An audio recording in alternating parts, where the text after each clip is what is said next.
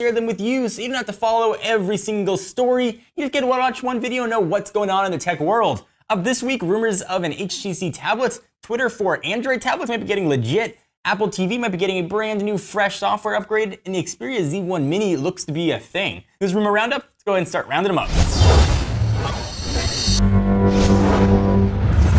According to a mysterious image leaked on China's Weibo, HTC is poised to unveil a tablet that looks to be in the 7-ish range that essentially just looks like an HTC One that just went super fat. The first design HTC One looked really good. Design HTC One Mini looked really good. Presumably it's gonna look pretty good on the HTC One Max. But on a 7-inch tablet, it looks like it might be too much of a good thing. It's got a weird aspect ratio. It's 4 by 3 which you don't see in really many tablets anymore, save for the iPad and sort of the metal on the sides just looks a little bit weird on a tablet format. And you got the boom sound speakers, presumably will make their way, and I've no doubt it's gonna be a pretty kick-ass tablet, but it just looked weird from the picture. But I've got an open mind. Perhaps HTC will blow me away as they usually do with their devices. The build quality is usually awesome, so I'd expect the same thing from this as of yet unannounced, unnamed, and just rumored tablet. And if you were thinking about picking up one of those unannounced Android tablets, if you were to pick it up today, if it existed, you would find a native Twitter app that looked really bad. Essentially, it's the same Twitter app on the phones, just blown up. It looks like Android tablets are finally getting a full version of Twitter. So according to Android Next, they were just browsing around the IFA show floor, seeing what was there, and they happened to come across a Samsung Galaxy Note running a brand new version of Twitter. And it wasn't just the Twitter app that we've got on smartphones where it just looks giant. It was totally designed for Android tablets, complete with some of the features I've really wanted, including landscape support, columns,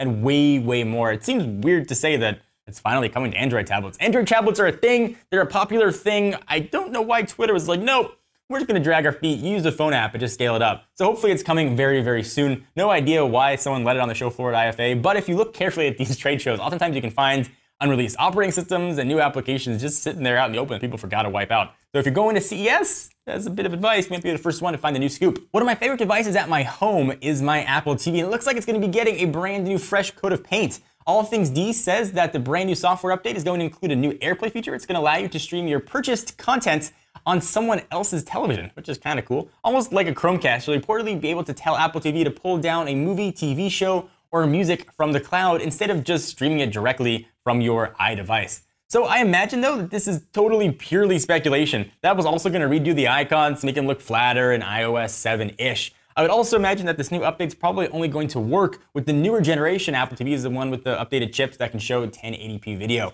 I love my Apple TV and ability to do that would be great as opposed to just streaming from your one device. Obviously, you can stream from the cloud without bringing a device with it. Uh, being able to do it on someone else's TV could be kind of cool and make the Apple TV Chromecast-ish. If this rumor is true, looks like we'll see the new update hit the same day as iOS 7, which is September 18th. So minis phones are now a really popular thing. You got the S4 Mini, the HTC One Mini, and Sony wants to get in on that game. A new leak that came out last Tuesday points to a smaller Xperia Z1, and we saw it next to a full-size smartphone. According to the folks at Android Central, the specs are going to actually remain pretty similar to what the Z1 is. It's going to offer that ginormous 20.7 megapixel camera, the pretty same powerful, beastly, and overall awesome Snapdragon 800 processor. The biggest trade-off, because there's gotta be something, is gonna be storage. The Z1 Mini is supposedly going to offer just 8 gigabytes of storage out of the box. And it's also going to have a smaller 4.3 inch screen that's going to ditch 1080p resolution and only bring 720p to the table. But it should also come at a lower price. So DigiWoo, which originally leaked the Xperia Z1 Mini, suggests we might have to wait though until January 2014 to finally see this phone, which I say pshaw. If it exists, I say we'll see it before the holiday season when every phone kind of comes out. Let me take a minute to thank our friends and sponsors at Audible.com. You should already know what Audible.com is, but if you don't, they are the leading provider of downloadable digital audiobooks and spoken word entertainment, which is fancy word for saying just audiobooks. They have over 100,000 titles to choose from.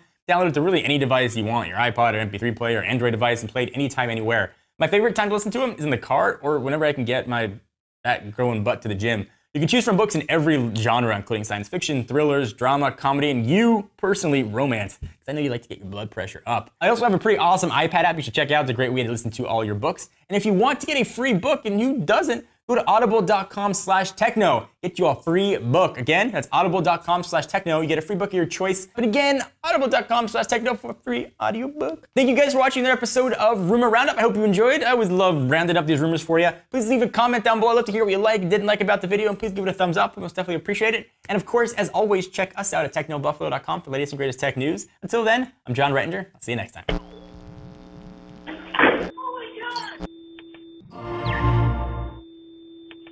What's up everyone, Jon here. Just wanted to let you know that if you liked what you just saw, we've got two other shows that go live every single week. Ask the Buffalo, where our very own Ashley Esqueda answers your burning gadget questions, and Rettinger's Rants, where quite obviously I go off on things that bug me across consumer tech. If you want to see me get super red-faced and mad, you should click the text below that says subscribe and check out our other shows by clicking right over here. I'll see you guys next time.